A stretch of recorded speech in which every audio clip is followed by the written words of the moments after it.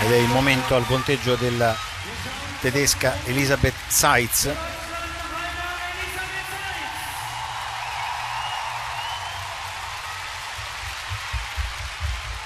sua rincorsa, rondata, flick, salto teso, due avvitamenti, benissimo! Un punteggio che andrà molto probabilmente oltre il 14,400. Molto bene per la Seitz. La Tang non dovrebbe prendere più di 13,100 per far pensare la Melnikova di superarla. Certo che povera Tang è proprio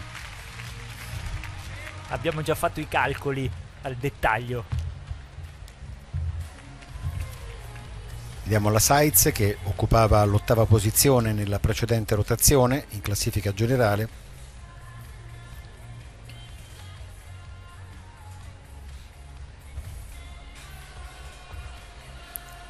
Molto bello il suo salto e vedremo la, le esecuzioni.